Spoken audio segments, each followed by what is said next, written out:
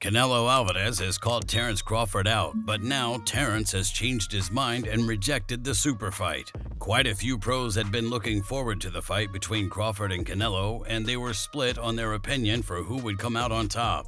Shakur Stevenson really thought that both fighters would be rather even when they step in the ring with each other. Shakur stated, Canelo's gonna feel his punch just as much as Bud feels Canelo's punch. Bud's strong as Like I said, I'm gonna tell y'all this story. I said it before, but I'ma say it again. I was in the gym. I wanna say I was getting ready for Chris Diaz or something, and he was sparring like a heavyweight fighter. I'm looking, I'm nervous for him. I'm like, why is he in the ring with this big old dude? And man, I swear he caught this dude on his chin. Boom! Dude wobbling all around the ring. I'm like, what the f? How is this dude this strong? But it's like, honestly, Bud is very strong. People don't realize how strong he is as a fighter, and his punching power could carry through the weight classes. Deontay Wilder thinks that Terence just has a little more fight in him than Canelo did. Deontay stated, I'm going with Terence on that one. I'm just like Terence. He's got that dog in him. He can switch both sides and he is fearless. He comes to fight and nothing else. I don't think that he's going to bow down to Canelo in no type of way. If one way doesn't work, he's going to switch the other way. He's back and forth. I just think that he would give Canelo a problem, just like I think that David Benavidez gives Canelo problems too. Even fans believe that Terence Crawford deserved to have his fight with Canelo. Can Terence Crawford beat Canelo Alvarez? Does he have the power to hurt Canelo? Hell no. Triple G is one of the hardest punching middleweights of all time. He ain't hurt Canelo. But could Floyd hurt Canelo? No.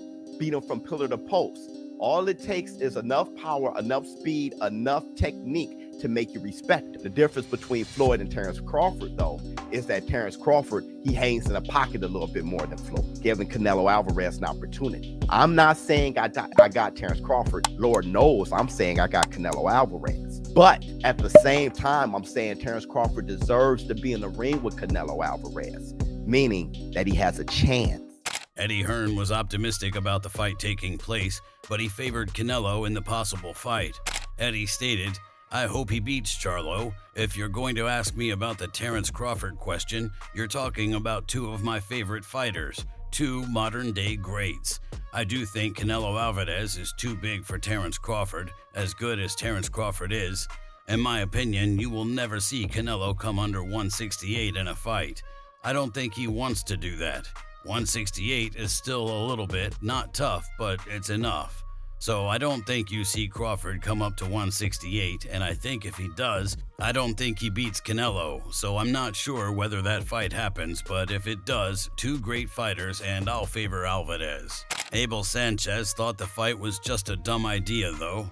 Abel stated, Canelo's not only bigger, but a natural middleweight with lots of experience against top fighters. He's proved again and again that he can handle larger opponents, absorbing their punches and delivering punishing counters. Roy Jones Jr. thinks that Canelo is just a big puncher, and he doesn't think that Crawford should fight him yet anyways. Roy stated, I'm not sure about that because Crawford has punching power and he's sharp, but I think Canelo showed that he's pretty big. If he does well against Charlo at the weight, then let's see him move up and fight Canelo, yes, but not now. I want to see Crawford move up the weight classes and prove he can be dominant at 154. At one point, Canelo said that a fight with Crawford was possible. You never know. You never know in boxing. Absolutely. I'll go up, up and down and fight everybody out there. So it's possible. Why not? It's possible.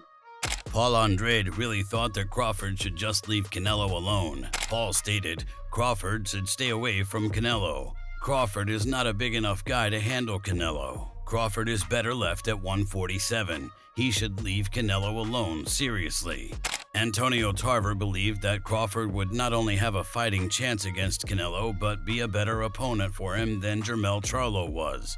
Tarver stated, Canelo showed that anyone moving up will have a problem, and I thought early on Crawford would be the type of guy with his offensive weaponry.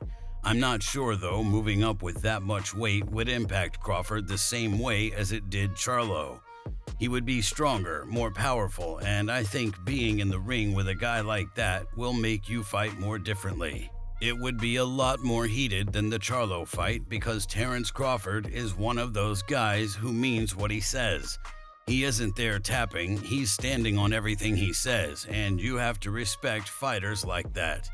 I believe he would definitely have to get used to and adjusted to the natural strength and power of Canelo, and that's always the X factor power.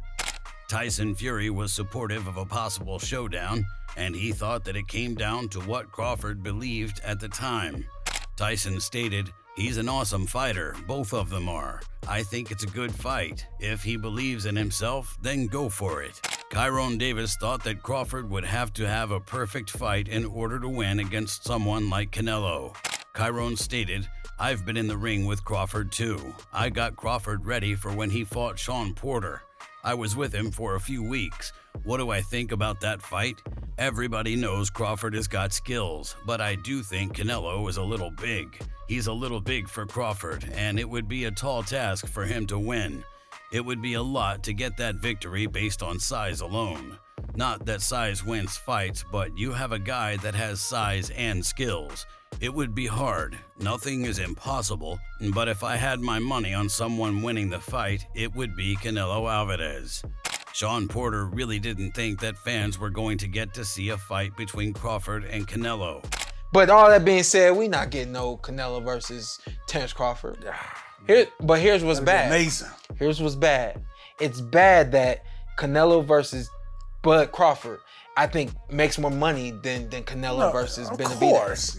I think Of course. don't make sense. I think I think you gonna have to do some some strategic promoting to get Benavidez and and and Canelo to make you know the kind of money I think it instantly makes with with Bud Crawford. Canelo Alvarez wasn't a fan of making the fight when he finished fighting Jamal Charlo, and he stated, I always say if a fight makes sense, why not?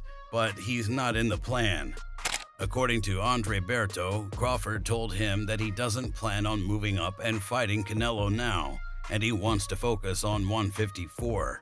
Andre stated, I spoke to Terence after the Spence fight and I told him, listen, man, that Canelo needs to be your next fight. He can tell you that I said this. He was like, nah, Bert, I'm good, man. I want to deal with this situation at 154 pounds. I want to be undefeated. I'm good. I don't need to go up there. For what? Is there anything that scares you, Canelo Alvarez? What what frightens you? Nothing about boxing. No. This is what I love. Yeah. So.